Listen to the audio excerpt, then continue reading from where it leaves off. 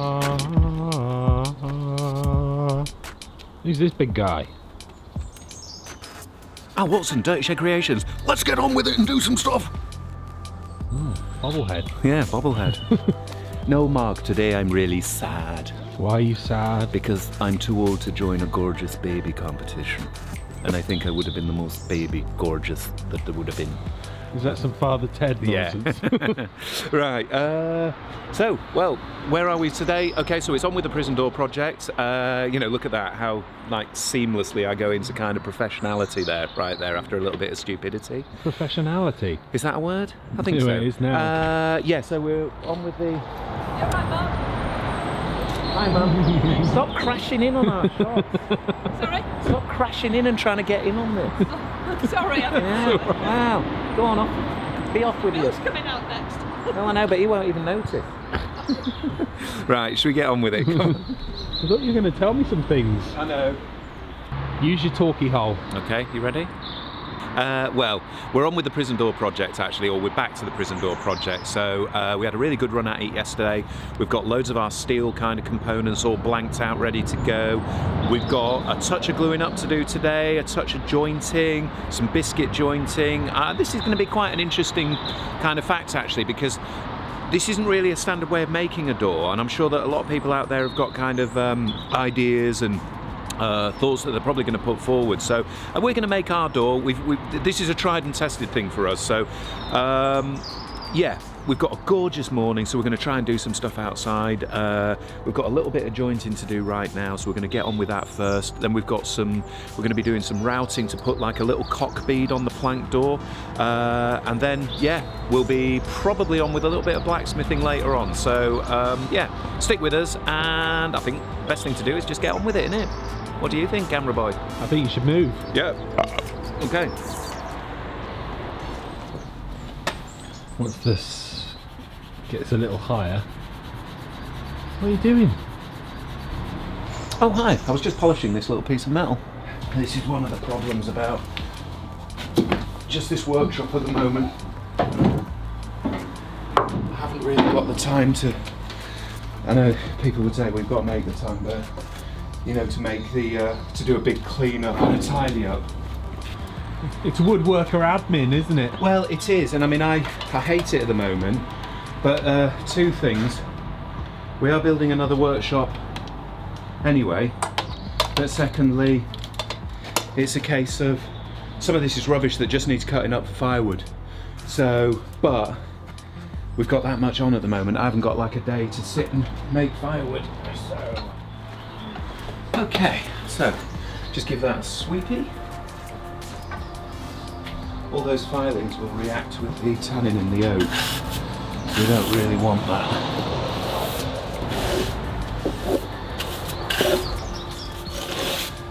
Nice flat surface for gluing up on.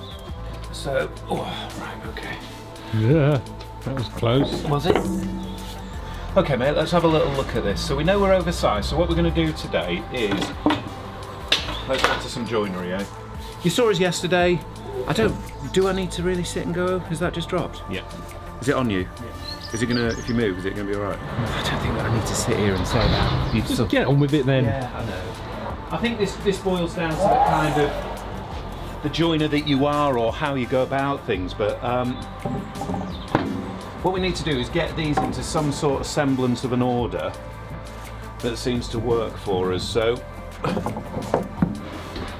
yeah, you see, there's a bit of there's a bit of flex in that oak, so we'll be able to pull that up. Those two meet really quite nicely, don't they, with a bit of clamping pressure on them.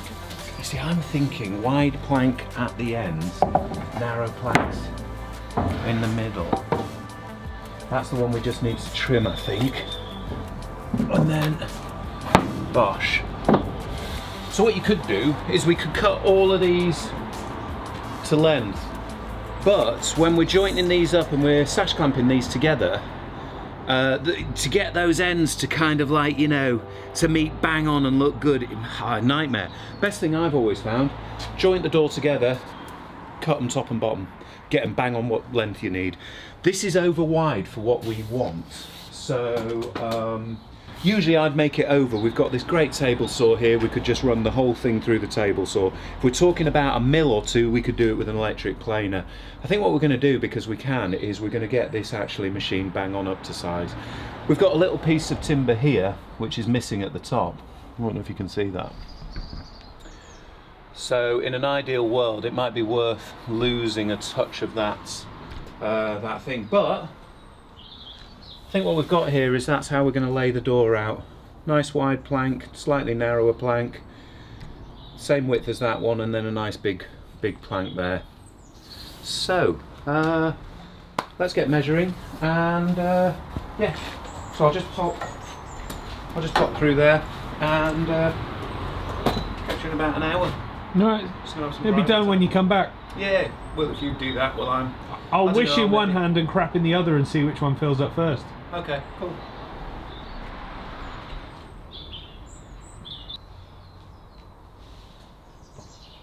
Which one filled up first?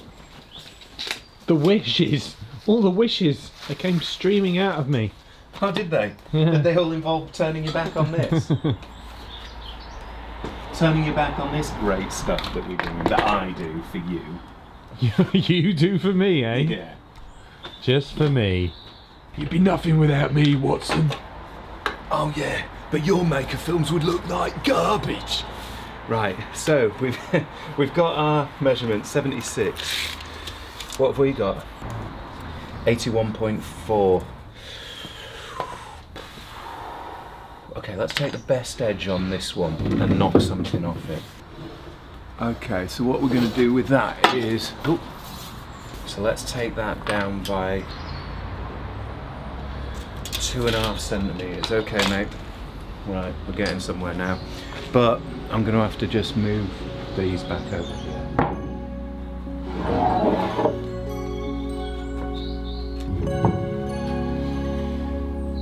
As you all know, support the fence, stop it, wind up the blade. Let's machine.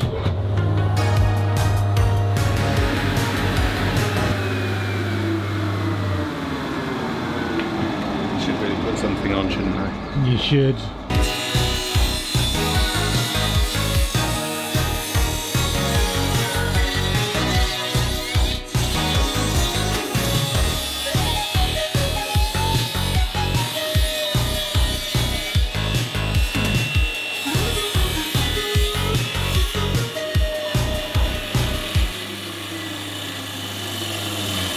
Okay, so what we've got going on there, actually an interesting point, is all timbers full of stresses.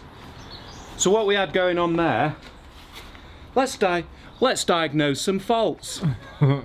What? Am I shouting? Is that a? Was that a balls up? No, it's not a balls up. So essentially, you know, you, we've what we've got here is a two-inch thick piece of oak, French oak.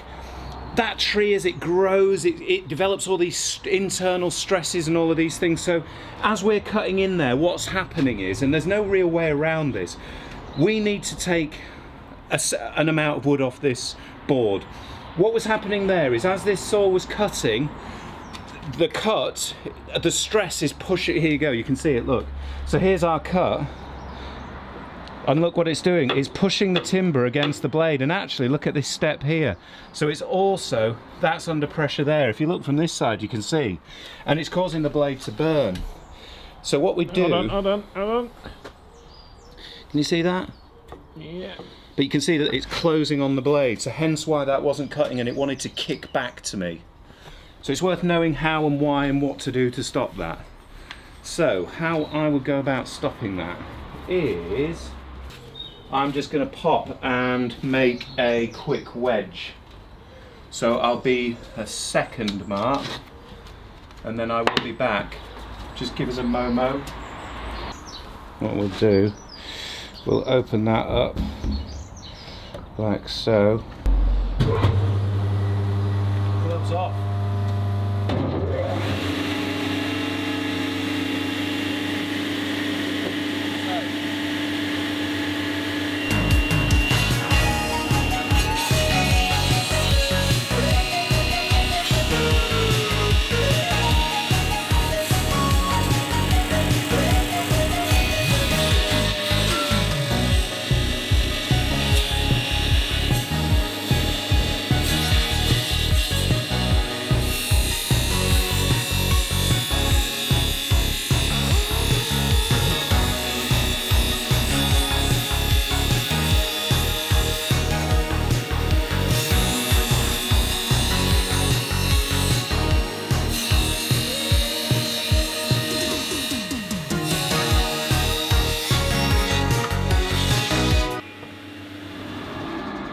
So there you go. How much stress is that piece of timber under? And look at that, it's bending in both directions, so it's scooting off and up. It's almost, if you look down there, it's.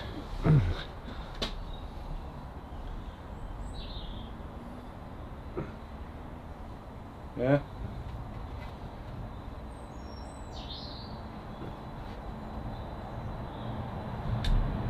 So there you go, that's the internal stresses in that bit of timber.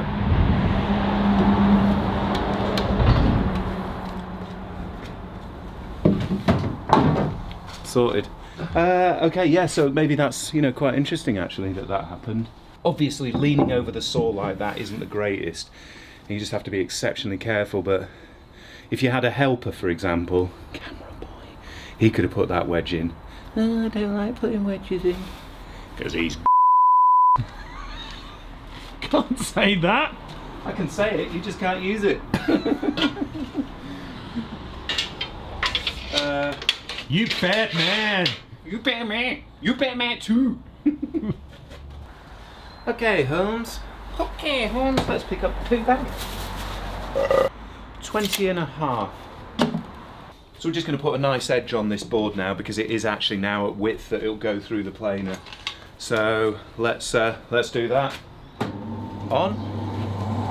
Wind down the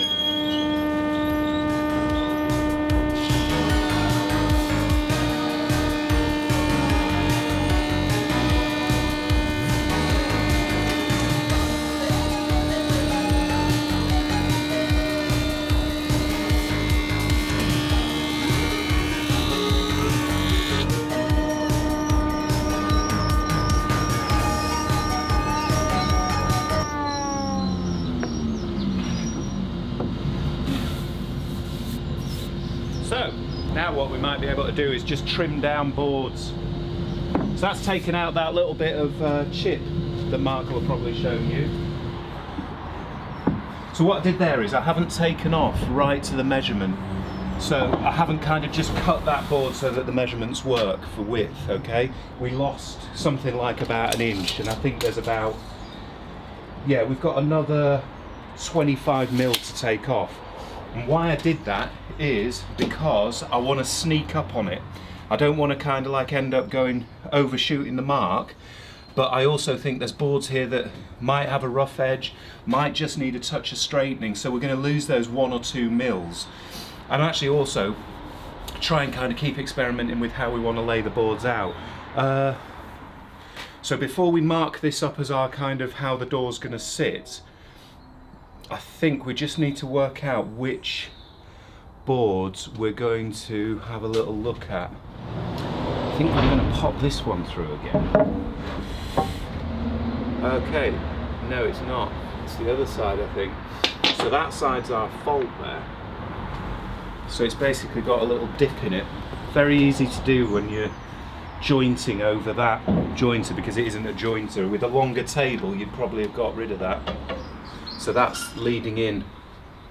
That board's a bit funny, can you just see that? So hence, just need to take a little trimmy trimmy bang bang.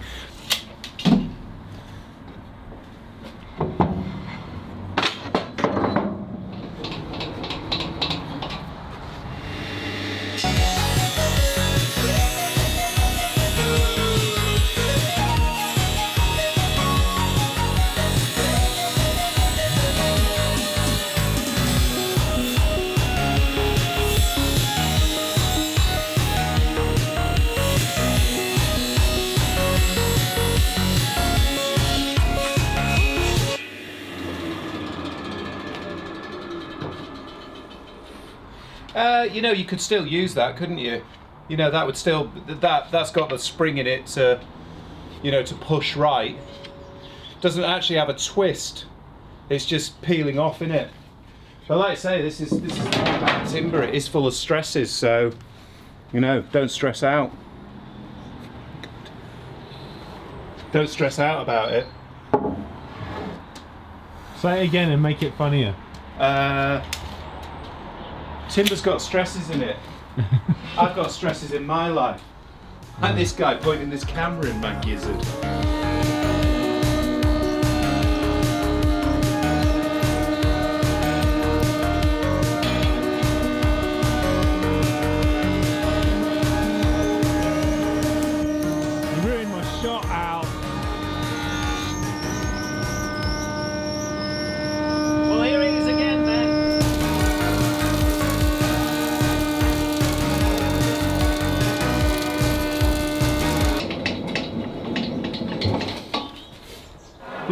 Reminds me of um, the Throne episode where we were deciding what wood to make the seat out of.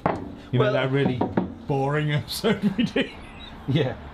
You get some faults when you're machining and it's just a basically this is bellied out.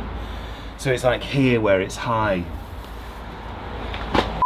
So I wanted to do this off camera because it's just a. Right, they're all absolutely fine. They'll join. That one will join. I mean, well, you get these big clamps on, but I'm like, there's a belly in that. Where are? Well, it's got a belly in it, you say, Al? Yeah, no, this piece has here. So what we're going to do is I'm going to we're just going to do a quick little bit of machining after we've moved all the stuff that's obviously in the way. We're going to do a bit of machining to just take that belly out, and we're going to do speedy speedy Hiraches, Sanchez, Machachos, El Bastardo. No more blade than we need. We're going to power do this really quickly on that edge. Okay, how do we do this? This is how we do this. So what we do is we've set the planer to a very fine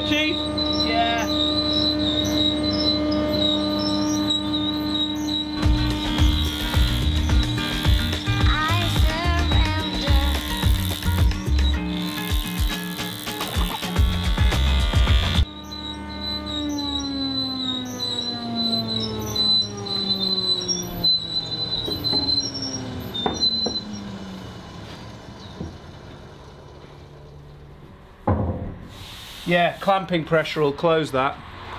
Okay, guys, that is our. That's how the door's going to go together. Uh, so now, what do we do? We want to know the order of those planks. So we want to kind of basically, we don't want to be dropping the planks in different positions and all of that stuff. So what we do, classic old, um, classic old marking out technique. We just draw a triangle like that just on one side so we know when they're all facing the right way that's how we're going to join this table uh, this um, that's how we're going to join this door together. We'll just check parallel. So we are at look at that 76 And how much is it supposed to be? 76 76 so Um, there you go. that's why we don't just that's why we don't just hog into one piece of timber and take off our entire correction. Because it gives us that sneaking up on it kind of thing you know. I'd call it i think the term is progressive accuracy. So you don't get it right the first time you don't get it right the second time but you're taking off such small amounts that by the time it does just drop sweet it's bang on where you want it to be. 76 that's our finished width. It's not our finished length or height um, we'll get to that later. Where are we now? Let's get our cock beads on. Uh, uh, uh, Oh, yeah, thanks. So we do cock beads on these. So, cock bead, cock bead, cock bead, and that's it. This do you one, want to explain to people what a cock bead is? I'm not going to explain it, Mark. Well, I'm going to show it.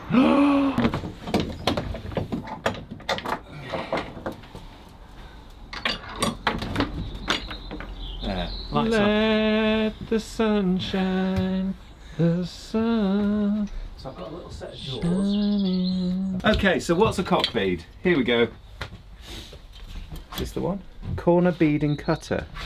I don't know. Is it? Maybe it's not even that. I don't think it's actually that cut. Uh, the, look, this is the cutter we're going to use. It's bearing guided and it cuts a little radius on there. I call that a cock bead and people can call it what the F they want. but to me it's a cock bead. Let's just get that nicely set up. So is this quite an important part of the? Uh... I think this adds, you'll see in a minute, suddenly instead of a tabletop it'll start looking like a door. I know you and you're not liking tabletops. Ali, freehand routing. Yeah, is the name of the game. Is the way of the chief. Freehand routing, it's bound to end in some grief. So what I'm looking for here, I just want it to leave a little flat after it's cut the bead.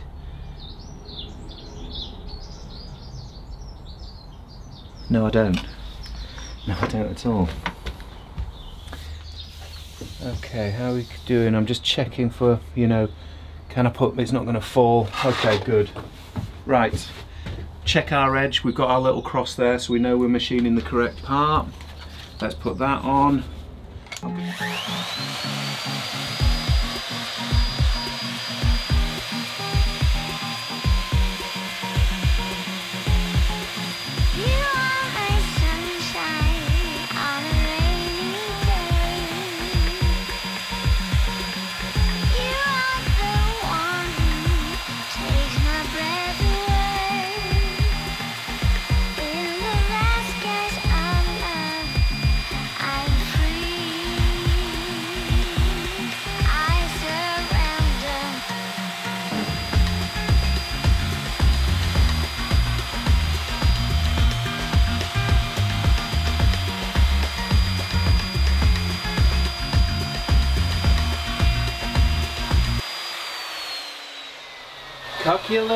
Is the way of the chief.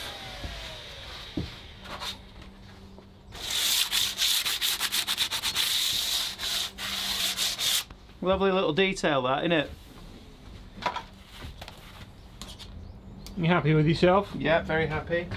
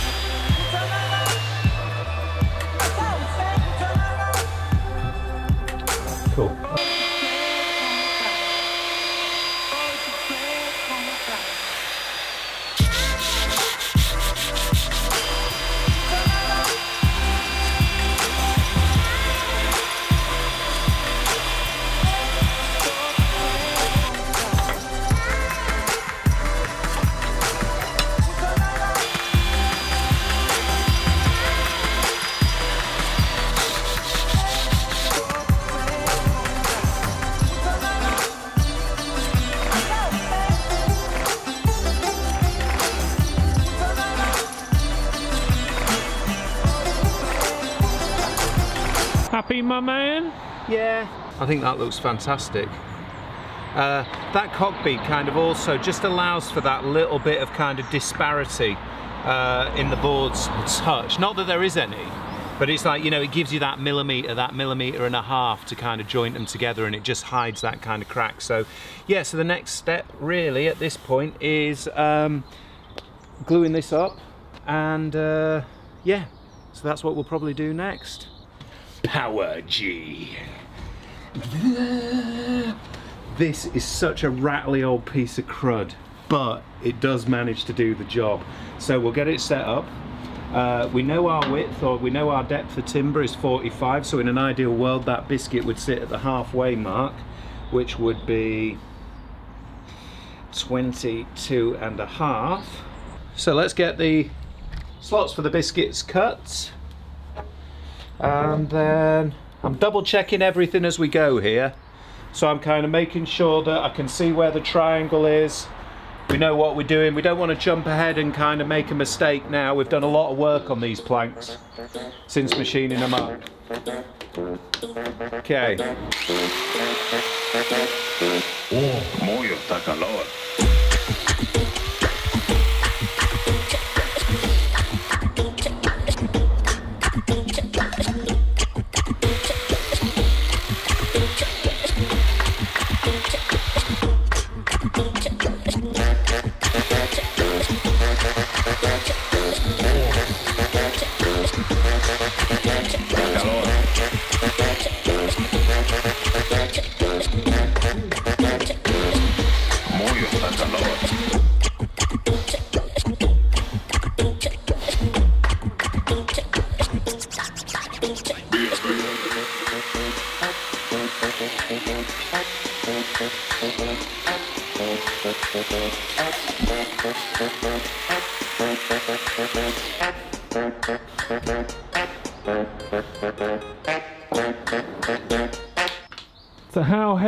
you going to go on the sand on this?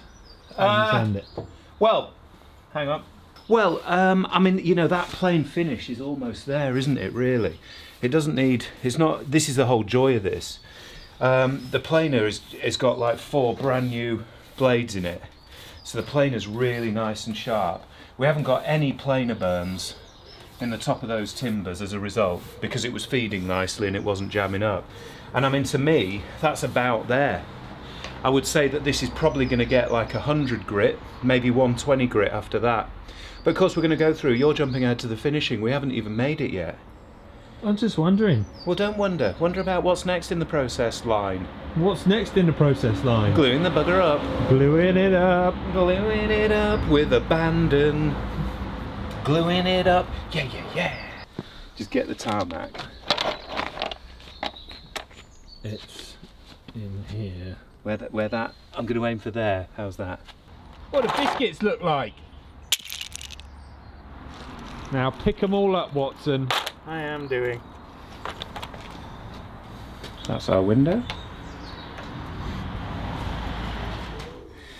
We have gone a bit heavier than probably, but you know, it is a door, it wants to last.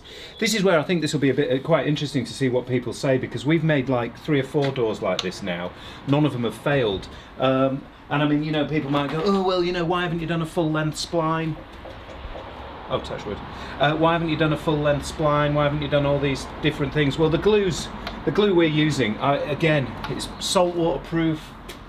It's never let me down. So I'm like, well, you know, I'm not going to change. Cutting a channel in there, you know, people would say, oh, we could just pass that over the table saw. I've done that in the past. You know, your tolerance on that line is all over the place. So trying to get a nice tight fitting spline is a pain in the backside. Yeah, you know, we could make a jig for the router. Or we could just use biscuits. We're going to use biscuits, you know. So yeah, stick with us. See how people use biscuits. Okay, right now, I need to get some clamps, some glue, and uh, I'll be right back. Don't nick anything.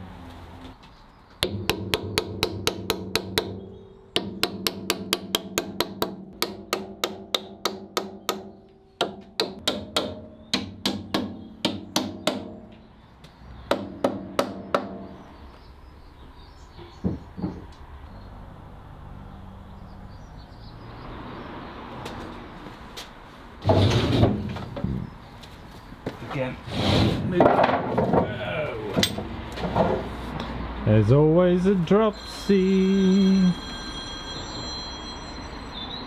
Yes, this is an interruption. no, I'm only joking.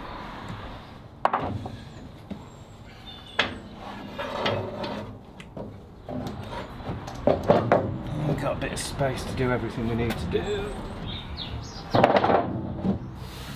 Okay. Okay, so we need something to protect the back, something to protect the front, and I think uh, we're using a glue that is water activated. So we'll just spray that, damp those sides. We're using uh, polyurethane glue. So what you are meant to do is now basically just, just for the sake of thoroughness, turn that over, turn that one over.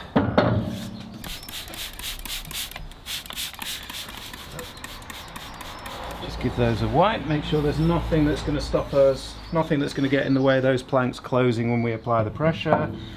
Flip that over, dampen side, same on that one, because we won't see it again. Get those all ready. And applique dans la glue. It is a gap filling glue this.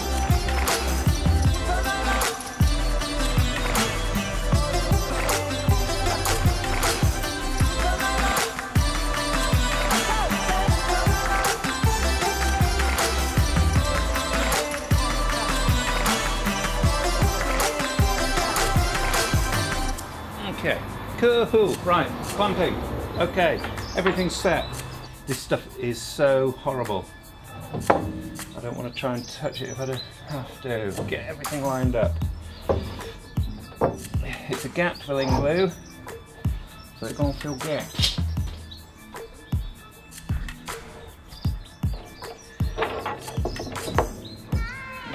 Line everything up.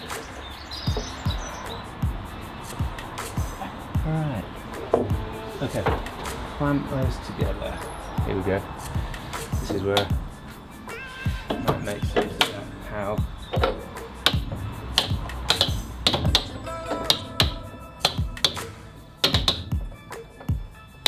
clamping pressure that we require. So that that's what we have to combat, that lifting. So what I do generally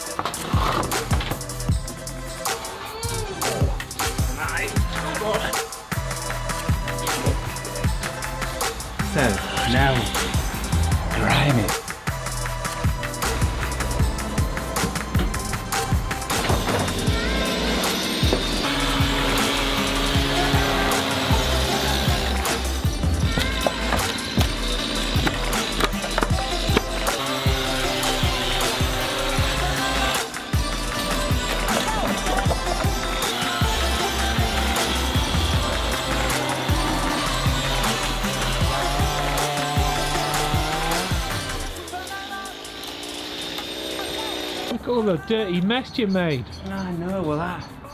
I knew it was going to do that when we did it, but. Oh, Mark, do you want to blow it off? Uh, get the compressor on. Where is it? In the, there. is it there? We've just had our compressor go down, and the compressor's about two years old, and it cost us kind of, you know, nearly $500. And it's kind of like, you know, you can't help but be annoyed at that. It's three, it's three months old. We've just gone to it now to use it. You know, it's hardly had any use. We've probably had it on 10 times. We've got it set to provide 75 psi for the plasma cutter, and then we use it as an airline on occasion. And uh, you were just going to clean your camera down with it, weren't you? And bang, you know, it starts peeing air out of everywhere. There's air coming out of the on switch. It's like, what the hell's going on there? And you know, the problem is, is I could sit here for the next kind of four hours and get into it and take it all to pieces and have a look and try and redo some joints, but it seems to be an electrical fault, which is, you know, I can't get into the circuitry and mend that with a bit of wood glue. So we're now kind of unfortunate. We've had our day cut short, and I'm probably going to spend the rest of it trying to deal with some obnoxious person at the company where we bought it from. Uh, so we'll keep you posted on that one, but uh, yeah, it's kind of brought today to a bit of a poopy halt, really. Yeah. Yeah. Where are we with the door project then? The door project's all gluing up. To be fair, that needs to be left alone. We've got all our steel here cut out, ready to go. Um, so I think what we'll do is because I have, because we have, sorry, because we've shown you how we make these before, I'm probably going to get on with those tomorrow. Tomorrow we won't be filming. Um, we won't be filming, but um, I'll be moving the project along. We'll be getting those kind of, uh, we'll be cutting the butterfly ties into shape, hammer texturing all that, forging the heads on these, probably cutting them to length, and then what we're going to try something new is to actually clinker, properly clinker the ends of these. Um, so we're actually closing the rivets in the classic manner. Not hot, but clinkering, so you know, kind of sitting there. Uh, we've got a hammer over here, which I think will be absolutely ideal for that. So in fact, I wouldn't be surprised if this is a riveter's hammer. So yeah, so we'll be kind of trying to kind of properly clinker the other side of those. And, you know, even doing that, you do it does it does deform. So I think we'll have some success with that. But we are going to do a test before we actually kind of come to that point. So stick with us for that. Um, yeah, cool. So that's us for today. Let's fade out. Hi, dream sequence. Hi